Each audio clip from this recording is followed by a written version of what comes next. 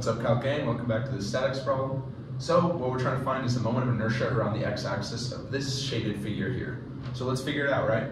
So we're trying to find the moment of inertia around the x-axis. We're going to use our formula here. So it's the integral over the area y squared dA. Uh, so we need to find out what dA is, right? So dA, we can't integrate dA, but we can integrate dy or dx. So in terms to find that, uh, we know that uh, dA is equal to x dy or y dx. In the case here, we have this y squared, so it's going to be easier if we do y dx, or excuse me, x dy. We want the dy to match the y squared here, so we can integrate with respect to y, which we already have. So uh, let's get started on this. So let's plug into our integral here. So it's going to be y squared and then x dy. So the reason I didn't put in the x yet is because we have to make sure that we're right. So let's go over to our graph here. We're integrating with respect to y. So if we're going with respect to y, we're coming off of the y-axis and are moving out a distance. So this line is defined by y squared is equal to x.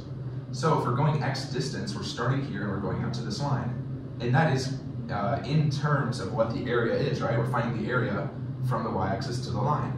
So we don't need to change anything up. We already have the integral, right? So we can just put an x here. But then now we have an issue where this x does not match the dy. We want to make sure we only have one term when we integrate, so we don't are left with an x.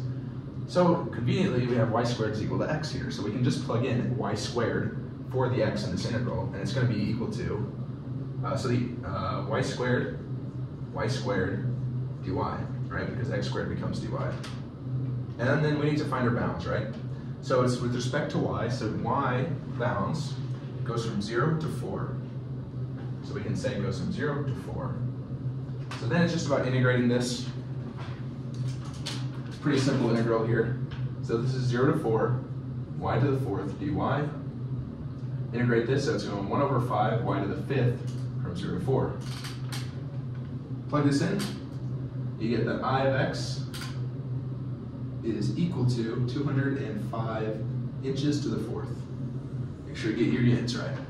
And there you go, that's how you solve this problem. So it's not too tricky, just about um, you know finding the right bounds. Uh, yeah, so check out my next uh, next video where we're going to be doing it with respect to the y-axis. So with respect to the y-axis is going to be a bit more tricky. So yeah, let's figure it out. And I'll see you in the next one, guys. Peace.